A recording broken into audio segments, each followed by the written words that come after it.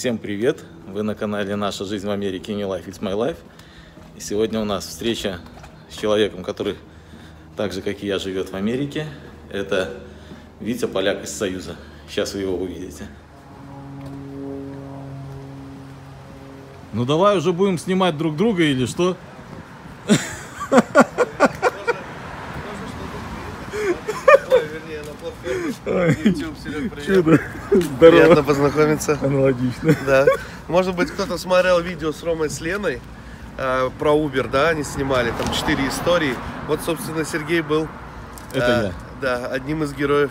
А Витя Того другим из героев, А я, а я другим из героев. от него да, случайно это Да, я узнал. немножечко тогда был э, не бритый. Не так, как Сергей, конечно, но у меня так все, я постригся, побрился, все нормально. Вот, так что пойдемте посмотрим, как там все происходит, Пойдем. поговорим с ребятами. Давай покажем твою машину. Да, вот этот автомобиль с двигателем внутреннего сгорания. Внутреннего. Прошу, да, прошу заметить. С нью-йоркскими номерами пока. Почему мало этикетов? Я не могу найти. Всего лишь я нашел 6 наклеек, а, потому что в какой- какой-то штат приезжаешь и э, нету. Вот 6 штатов, которых я Значит, нашел. надо идти, обращаться, я не знаю, куда, в Сенат или куда, и сказать, что, ребята, Я буду писать Трамп. да, сделайте как-то, я не знаю. Я буду надо- жаловаться. Это же не серьезно. Да. Не, ну просто брелки и магниты. У меня, допустим, обрати внимание. А, Я думаю, а, нет, открылось. Обрати внимание, вот здесь. Супер. Да, вот здесь у меня уже побольше штат. И, кстати, еще штучек 5-6 не наклеено. Ага. А, Они хорошо, в движении не это самое, не важно? да, я предлагаю тебе выбрать один себе на Да холодильник. перестань. Давай, да давай, ну, давай. Не, я- ну это на- же твоя коллекция Сергей- штатов твоих. Сергей, я езжу по штатам, я настаиваю. Я настаиваю, выбирай себе, какой нравится. Какой штат, допустим, вы ты бы выбрал после Калифорнии? Блин, мне трудно выбрать, потому что я их выбирал только один раз. Когда собирался ехать. Ну, давай. Ну, тогда просто как э, снаружи какой нравится. Давай Флорид. Давай. Флорида мне нравится. А у тебя много Флорид? Я А вижу вон одну. еще, вон видишь, дальше штат Флорида. Видишь, как Где, схема где, где? штата? А, вон тот? Да, Как пистолетик. да. Если Ну, можно пистолетик. Ну, бери какой хочешь. А, Давай, залазь, залазь, смело. Опа! Вон, Подарок от Вити. да. Спасибо большое. Все, пойдем внутрь? Ну пошли. А, нет, Так, надо ж машину Я, видишь, поставить, да. еще с палетой ем. Мгм. Люблю с палетой. Очень конь. Белый, на котором он объехал уже, по-моему, 47 штатов. Сейчас мы с ним будем разговаривать, и мы это узнаем. Да. Ну, как я вам сказал в самом начале, сегодня у нас в гостях Да. Виктор. Кому-то он известен как поляк из Союза. Кому-то, да. Спасибо большое, ребят, за теплый прием. У нас здесь, посмотри, не, ну у нас на самом деле все еще есть. Мясо с грибами кончилось в первую очередь. Потому что белок, самый настоящий белок. Записали мне на канал большой материал. Сейчас записываем вот Сергею на канал. Всем привет, подписчикам. Чего, чего рассказываешь? Э, Я хочу, чтобы ты рассказал про свою работу. Э, Сейчас ты работаешь на Вене, Да. работаешь сам на себя. Э, Значит, приблизительно, скажем, такие ключевые вопросы. Как ты начал, как ты продолжаешь, во что это выросло после того, как ты поработал на кого-то. Ну и ты начни, а я тебе буду давать такие, что может Давай, заинтересовать. давай, давай. А, начал как? Э, Я работал Убером на Убере в Нью-Йорке. А, собственно, там пришло время с Убером прощаться, потому что, ну, во-первых, нас зажали там в Нью-Йорке в Убере, я не хотел просто с этим справляться, подстраиваться, и, во-вторых, хотел посмотреть страну. Ну, а страну где не посмотреть, как не на вот дальнобой. И я не помню, как уже мы в Фейсбуке списались с Серегой, который вот работает в диспетчерской компании в Чикаго. И у него как раз Вен освобождался, чтобы он, ну, он уже планировал искать водителя. И я попросил Серег, я буду на очереди. Я, по-моему, три недели ждал, пока освободится Вен. Он мне позвонил, я прилетел в Чикаго, сел и поехал, и просто по пути начал разбираться. Начал искать э, у себя вокруг людей, которых я знаю, через кого-то, чтобы мне подсказывали, как, как правильно ехать, как правильно стоять. Ну и диспетчера то же самое делали. Вот. И с мая по октябрь, по-моему, э, того года, 18-го, я катался вот на чужом вене. И как ты решил, что надо уже самому? Ну вот я, я в принципе это понял за два месяца, что я готов, наверное, уже взять свой и перейти на другой уровень заработка. Но что-то как-то все не срасталось. Потом Сергей как раз просил меня, вот, э, чей Вен был, Вен был, он в Киев улетал, просил меня задержаться еще на сентябрь. Ну, в принципе, мне торопиться некуда было, поэтому я и остался. И сейчас ты работаешь сам на себя, но как ты работаешь? Ты организовал какую-то компанию, ты частный предприниматель. Как ну, это, по-нашему, да, да. По-нашему я ЧП, ИП. Какие А, документы надо было регистрировать, сколько это стоит, как это быстро, Открыл я- долго, ну, сложно? Ну, живу я в Нью-Йорке, открыл я компанию в Чикаго. Предоставил им только адрес. А, по- по- Попросил товарища просто дать адрес, он мне дал свой адрес чикагский. Я отправил этот адрес плюс название своей компании, которую я хочу зарегистрировать, бухгалтеру своему. Так это компания или частный предприниматель? Ну, это, нет, это юридическая, нормальная юридическая, incorporated называется. Мгм. Открыл юрлицо свое, потому что так как я сам на себя стал работать, то все диспетчера, с кем мы работаем, кто ну, обеспечивает вас грузами, платят именно вот с юрлица на юрлицо. Но я буду по-нашему говорить, просто Мгм. юрлица на юрлицо. Мгм. Вот. И все, и, собственно, вся работа и пошла. Определил для себя несколько диспетчеров, с кем. Ну, опять же, я... Это, это было дорого открыть вот эту вот компанию? Я, по-моему, 350 долларов заплатил. Я не помню, по-моему, 350. И сколько Или стоит ее обслуживание в месяц? А нет, а в месяц нисколько не стоит. А бухгалтер? В год. В год. В год. То есть Ну, там- бухгалтеру ты платишь в год. Да. Скидываешь ей весь а ком- Ну, у меня, подожди, компания у меня организована только в октябре, а сегодня февраль. Вот сейчас у нас приходит время платить налоги, да, в марте сейчас мы будем все. Мгм. И э, я поговорил предварительно, и, ну, судя по моим оборотам, у меня обороты простые, как у простого там физического лица, там просто мне платили а, одно направление бизнеса, у меня нет никаких экспортов, никаких импортов, Мгм. то есть никаких сложных там, никакого там оптимизации налогообложения. Поэтому обыкновенные там 100, 150, 200 долларов и все в год. Всего 150-200 долларов. Ну вот как мне, как за физическое лицо, 150 долларов. И за компанию, А за мне компанию? сказали, что примерно так же. Мгм, мгм. Ну, о- опять же, зависит от от... э, спасибо, спасибо. Э, Чем э, занимается компания, все зависит от этого. Ну, в данном случае вот по тебе. да, перевозки, ну, там ничего сложного. То есть у тебя будут, как у всех американцев, которые работают где-то, свои налоги и плюс отдельно налоги за компанию. Да, да, да, Мгм. да, да. Ну и вообще в дальнейшем, конечно, я хочу... У меня сейчас пока нету кредитной... У меня дебетовая карта только есть в моей компании, юридическая дебетовая карта на юрлицо. Открыть кредитную карту, сейчас еще руки не дошли просто. И уже вообще заниматься всеми расходами, потому что любое мое сейчас движение, что бы я ни делал, это все затраты компании. Мгм. Вот, и все.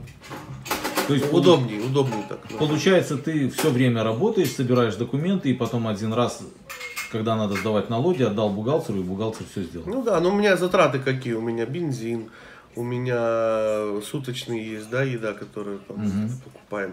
И, э, иногда снимаю мотели, потому что у меня нет возможности переночевать на моей кровати, потому что там я загружен тремя палетами и места нет. Я, ребят, на маленький венчик вожу, не фуру, не трак. Вот. И э, затрат- все эти затраты подсчитываем. Есть какие-то э, постоянные затраты, которые ты просто, когда ты в рейсе в дороге, ты списываешь. И есть какие-то затраты вот временные, там, которые неожиданные, там, типа вот этого мотеля, например. Или вот моего пребывания сейчас вот недельного в Лос-Анджелесе. Тоже же я затраты несу. Это затраты рабочие. Ну и как твое ощущение по работе вот на Uber, и уже ты сам себе своя компания, сам себе работаешь. Ну, на Uber я же тоже, как бы, Uber же хорохорится тем, что вы сами себе директора. и Но сами на самом деле ты Начальники. сам себе все равно какой-то водитель подневольный получаешься. Ну да, ну имеется в виду, хочешь работаешь, хочешь не работаешь. Они это имеют в виду, наверное. Да, да, ты, ты выбираешь время работы, хочешь или не хочешь, но ты все равно как-то работаешь на кого-то. Да. Ты работаешь на компанию. По- По-любому ты работаешь на компанию, а сейчас уже ты работаешь в своей компании. Так точно. Так вот, и что касается Uber, я говорю, чисто психологически там было некомфортно мне, физически было комфортно. Здесь наоборот, здесь психологически легко, потому что нету сзади пассажиров каких-то там долларовых миллиардеров, которые цокают, сидят сзади. Есть пассажир, который молчит. Да, груз, да, едет. Я гроб вез раз. И молился, чтобы он был пустой внутри. Я же не знаю, мне загрузили и отправили. Мы это видели. Да, а, видели, да? Вот, поэтому А, да и в принципе, я знаешь, я думаю, что просто в Uber, к сожалению, а здесь вся поставлена работа в Uber, вообще в принципе в такси так, что ну, кроме желтых, наверное, в этом кар-сервисах или там желтых Нью-Йорке, что ну ты пока на педаль давишь, ты зарабатываешь. Как только ты перестал давить на педаль, ты уже не зарабатываешь. А все-таки в, в работе грузоперевозок там есть возможность э, хотя бы как организатор, допустим, заниматься вот именно грузоперевозками. Свои или чужие, допустим, просто как диспетчер ты можешь работать. То есть есть куда какие-то отклонения лево-право. Ну ты открыл компанию, ты планируешь ну, я думаю, я думаю, я просто еще... Вырастите за одного автобуса два. ну, да, да, пусть будет так. Я просто еще не определился, с какой техникой связываться. У меня сейчас есть э, ребята, с которыми я близко общаюсь, и возят и то, и то, и третье, и десятое. Я просто изучаю каждого, смотрю и золотую середину пытаюсь найти. Затраты на технику, затраты на обслуживание, и, соответственно, маржа и чистый плюс, который может получиться после вообще, когда она встанет на линию и будет работать. Ну и, соответственно, все риски, падение спроса, повышение спроса и сезонность и так далее. А где ты живешь? Я комнату пока снимаю в Нью-Йорке. И живешь в ней? Э, раз в месяц, а то и реже. Ночь в месяц, а то и реже, да. Вот. Э, но вообще в планах есть, на год хочу подписать лист какой-то взять во Флориде. Когда говорю Флорида, не имею в виду обязательно Майами. Э, где-то во Флориде пожариться, в духоте пожить. Знаешь, на контрастах. Здесь духота, домой зашел, кайф прохладно. Дома замерз, вышел в тепло. Вот. И на таких контрастах сброшу вес, стану спортивным, потянутым, обрежу лишнюю кожу и буду вообще красавчик. Кстати, расскажи, как ты сбрасываешь вес. Вот, э, ну, наверное, однозначно у нас есть э, друзья-подписчики, которые просто не знают твой канал, и вот чуть-чуть остановись на том, что ты занимаешься э, спортом. Одно время ты очень сильно занимался, как я следил. Да, да, да, да. Ну, да. понятно, что при этой есть. работе не получается то есть вот немножко о твоем спорте. А, а, ну спорт нет, я как-то плотно начал заниматься. Сейчас последний вот февраль у нас сегодня середина февраля. Вот в феврале у меня два раза получилось сходить в спортзал. Третий раз меня просто за уши оттуда вытащили, дали груз и сказали езжай, я не успел. Вот, планирую я сейчас пойти, планирую. Я просто сейчас еще знаю, что тут в лете кайфую, там Флорида, где-то юга, вот здесь Калифорния. Как туда поднимаешься, где метель метет, что-то вообще не хочется из вена выходить, чтобы до спортзала дойти даже. Вот. А что касается там, ну, питание себе поправил, отказался от сахара. Вот мне Марина, например, предлагает здесь вот это вот, а я, видите, так в сторону отодвигаю. Не соблазняешься. Да. И от, от сладкого, от мучного. Ну и большие прошел медобследования в Новосибирске, которые показали там на проблемы с щитовидкой и с, там, с, кровью, с глюкозой в крови, поэтому этот момент я сейчас регулирую как-то. А почему там обследование, а не здесь? Ну, там как-то, знаешь, все по-своему и дешевле, во-первых. А здесь, знаешь, здесь некогда. Здесь приехал, сел и поехал работать. Здесь мне, во-первых, это намного дороже бы все стало. Это обследование. А вот сколько ты едешь? Какой у тебя самый длинный рейс, самый короткий рейс? Самый длинный как ты определяешь, сколько надо миль. ехать э, э, за определенный промежуток времени? Э, смотри, э, брокера все, ну, как бы такое есть негласное правило, а может быть оно даже гласное, все среднюю скорость считают 50 миль в час. Мы же, как правило, ездим 60-70 миль в час, ну, со средней скоростью. Ну, опять же, все зависит от сезона, там, от дороги. Вот, поэтому мы себе вперед нарабатываем время так, чтобы три часа где-то поспать, если мы везем, это важно, если мы везем груз директом, то есть взяли и поехали. Бывают же такие грузы, когда сегодня взял и в понедельник выгрузка. Угу. И у тебя куча времени, едешь себе, ни о чем не думаешь, отдыхаешь сколько можешь. А есть такое, взял и поехал груз срочный. И вот тогда ты начинаешь уже думать. Я самый длинный вез 1400 миль, я не помню, у меня влог есть на канале, по-моему, я 48 часов там почти без сна был. Да, ну, имеется в виду там, я как на час, может, прикимаривал где-то на полтора часа. Но в течение 48 часов это что? Это, это Сколько час. ты заработал за эту поездку? Грязными там или чистыми? Я не знаю, я не думаю, что больше там 1300, 1300, 1400 долларов. Ну, то есть я, я не помню, какая именно эта поездка была, откуда, потому что у меня влогов столько на канале, это все. Но я не думаю, что больше там доллара, доллара 10 за милю. Угу. А может быть и меньше, смотри, если эта поездка была откуда с неудачной, ну с такой мертвой зоны, где с грузами проблема, в более хорошую, то возможно и меньше. А какая самая легкая поездка была? Ну,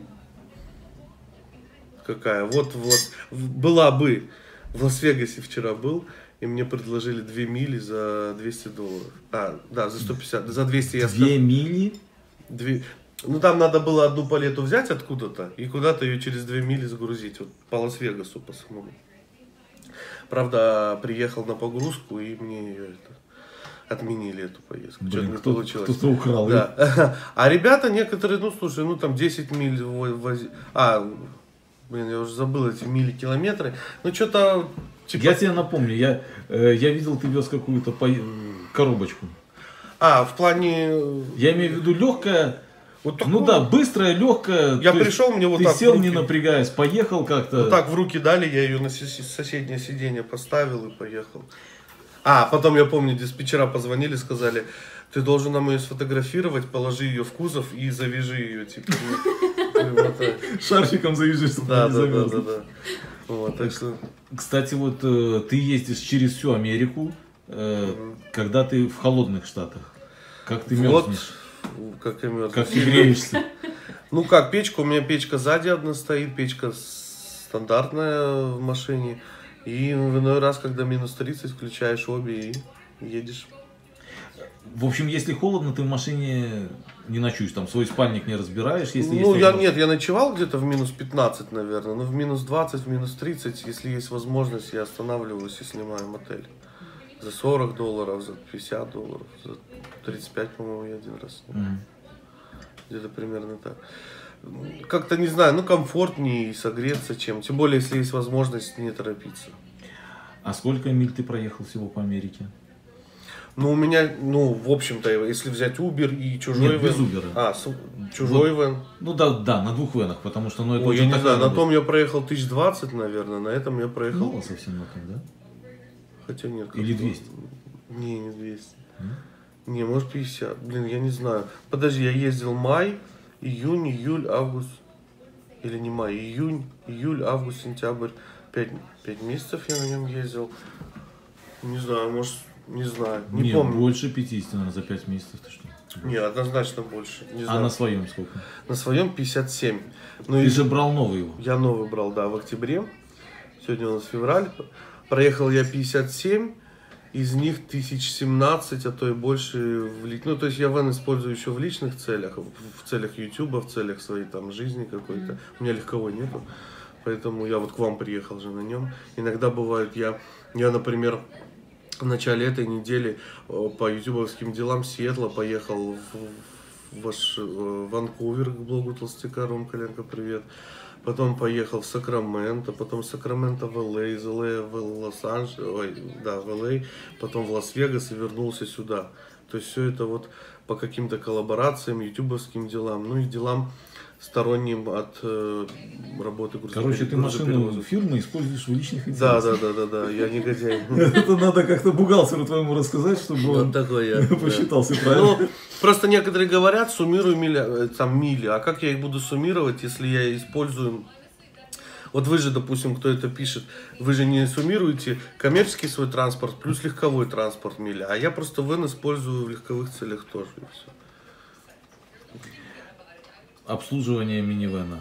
Дорого, недорого. Кроме- Приносит за заботы какие-то. Вчера поменял колеса местами. Передние назад, зад- задние вперед. Бесплатно причем, я удивился. Я просто приезжаю, говорю, сколько стоит ротейшн колес называется. Они говорят, ну а вообще-то бесплатно. Ну. Почему так сладко все? Я не, я не понимаю. Где? Ты просто пришел в обычную В станцию? Лас-Вегасе, да. В Лас-Вегасе я стригся. Бесплатно. Нет, стригся я, кстати, отдал дорого. 40 долларов я отдал почему-то. Потому что А, ты должен был, Потому что те колеса потому что ты должен был позвонить Марине, и она бы сегодня сделала тебе модельную стрижку. А, Да, так что если что, будешь заезжать на стрижку. спасибо. Я с этой... С, С бородой. Борода 20, стрижка 20. Что-то... Ну ладно.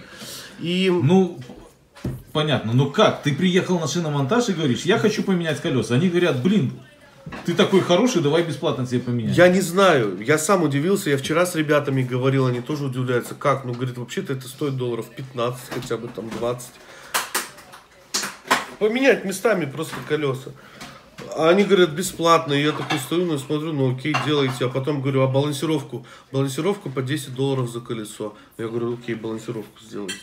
Просто я знаю, ты можешь приехать, например, менять масло, и тебе сделают бесплатно инспекцию тормозов. Масло я менял в другом вообще месте вчера. Я а, масло меняю, называется Valvoline Oil Change. Мгм. Волвалайновские Мгм, замены масла. мгм. Я меняю, вот. А я не знаю. Ну, я Сколько как замена бы, масла? А, у меня получается, ну, а в разных штатах по-разному, Ну, 50-60 долларов. Это масло, фильтр и работа. Масло, фильтр, плюс они проверяют жидкости, все жидкости, и тормозуху проверяют, и омывалку проверяют, и радиатор, этот, э, охлаждение. Кондиционер. Да, все это проверяют. Колеса проверяют, как накачаны, подкачивают или подспускают. Короче, полный сервис, чтобы Ну, ты ну выехал и да, не да, боялся. Да, да, да. Наверное, Вот. еще даже свет проверяют. Да, кстати, ближний и дальний свет, поворотники, стопы все проверили. И даже что-то к моему правому дворнику прикопались. Я говорю, давайте. Мы, говорю, из тех стран, где дворники просто так не меняют. Когда он, скре... Когда он скрести стекло начнет, тогда да. А сколько литров масла идет у тебя? Сколько объем? Дядя, я вообще не знаю.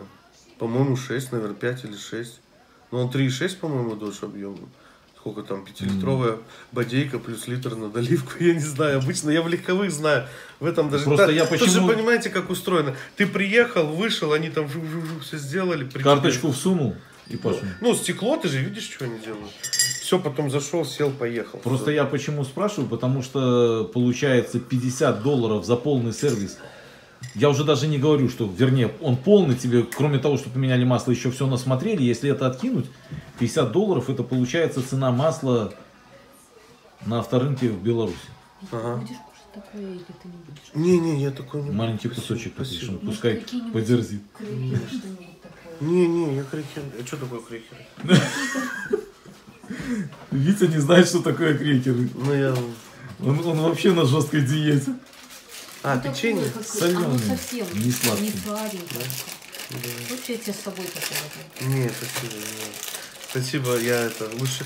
Я знаешь, Марин, лучше бы у меня с собой ничего не было. Да? Когда ничего нету, ты едешь нормально, а когда до- вот эти какие-то семечки, печеньки лежат. Кушаешь все время. Да, Начинаешь есть да. бесконечно. Вот, ребята, это крекеры. Оказывается. Я знаю, что такое крекер, я просто перепутал с круассанами. А что ты делаешь в дороге? Вот, вот ты говоришь 1400 миль. Ну, Например, вот э, средняя дорога. Тебе надо ехать 400 миль. Это средняя? Ну, это меньше среднего. Меньше среднего. То есть 500 миль это получается 750 километров.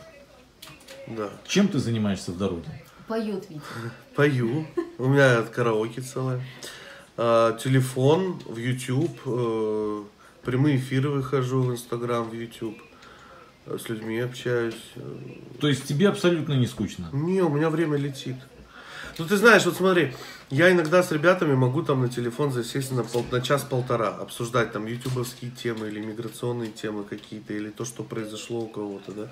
Любим так поболтать. И чем более это разговоры такие, знаешь, больше язвительного, хохочем, вспоминаем, подключаем третьего человека в разговор, там еще начинается что-то.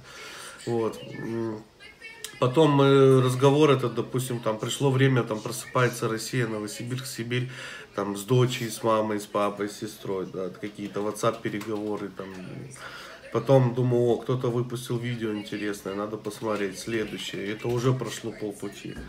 Понимаешь, пока видео посмотрел, то ты еще видео интересное. А потом мне мое видео на проверку присылают, где надо его просмотреть, поправки сделать. Вот тут самое интересное, вот когда ты все это успеваешь делать? За Вот рулем. у тебя свой видео э, канал. Ты ви- постоянно выкладываешь видео. У тебя, наверное, видео выходит раза три в неделю, это, это минимум, да? Ну, последнее время часто, да, выходит. Получается три видео. Потом, потом ты постоянно в Инстаграме какие-то сторис делаешь. Там и живые фотографии, и просто фотографии. Как, когда ты это все делаешь? Да я не знаю, как-то оно за полтора года как-то выработалось все.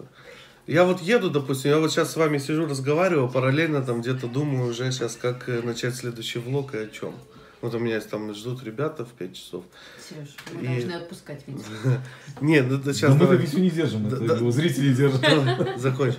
Вот. И я, соответственно, думаю, потом думаю, там, что я буду проезжать какое-то место, надо оттуда сторис снять. Я просто сторис не люблю, опять же, снимать такие, знаешь, ни о чем. Такие все-таки, чтобы они были с мнением или А как ты отдыхаешь? Или, или это для тебя отдых? Вот я сейчас отдыхаю.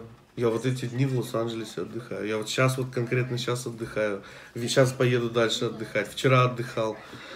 Я в при- Походу бездельник получается. Да. Не, я на самом деле, мне, ну, я, ус- я же говорю, я устаю физически на этой работе. Но не морально. Но физическая усталость, она же решается там с какими-то часами сна. Лучше в отеле. Лучше в Вегасе. Вот ты лег спать. Да. Сколько ты спишь? А Если у меня груз, то сколько позволительно. А если у меня нет груза, ну я думаю, что не больше, не больше 6-7 часов. Спасибо, ребят. Что еще можешь пожелать? Ну, желаю такой ребятам... большой ну, вопро- вопрос. Я понял, что у нас эфир заканчивается. Э, Вопрос э, следующего характера. У тебя постоянно спрашивают, у нас спрашивают, у Ромы спрашивают. Ага. Стоит ли переезжать? Это просто, ну, я не знаю, такой вопрос, который меня шокирует, особенно когда люди выиграли грин-карту, и потом начинают задаваться вопросом, стоит ли переезжать. Что ты можешь посоветовать? Про тех, кто выиграл грин-карту, да, давай? Про Ну, тех, кто я выиграл, просто- вот просто вот этот вот вопрос, он меня немножко... Я не понимаю, когда люди, да, давай про тех, кто выиграл. Вот они выиграли, а потом говорят, а стоит ли нам ехать?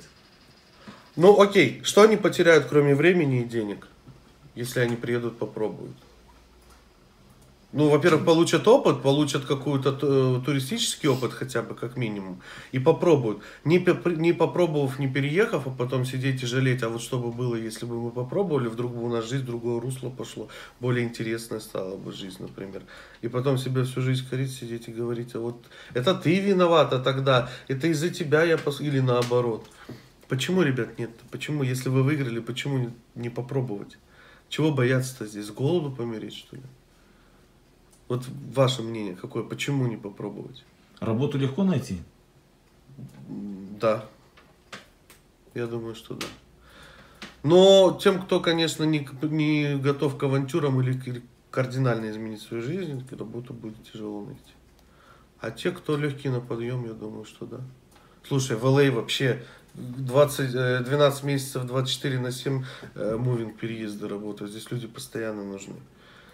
В Нью-Йорке не такой большой мувинг, да? Ну, я думаю, что все-таки мувинг здесь э, больше спросом пользуется. Не, понятно, что в Нью-Йорке там, но мне кажется, как-то по ощущениям, по рассказам людей, мувинга здесь больше, чем, Это центр мувинга в Америке. наверное, да.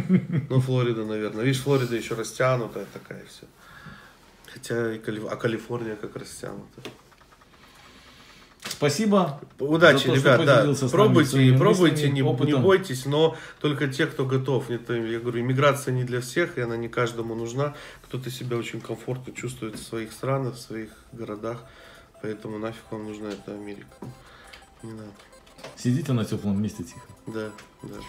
да. Все, спасибо, Витя. Спасибо, спасибо. Пока. Пока. Пока, давай. Это был Виктор, канал Поляк из Союза. Если вы не услышали ответы на интересующие вас вопросы или хотите задать еще какие-то вопросы, вы можете подписаться на его канал в Инстаграме. Вы можете перейти на его канал Поляк из Союза и написать ему в комментариях. Я думаю, он с удовольствием ответит на ваши вопросы. Вы были на канале «Наша жизнь в Америке» New Life It's My Life. Подписывайтесь, не забывайте поставить колокольчик, чтобы не пропустить новые видео. И до встречи. Bye-bye.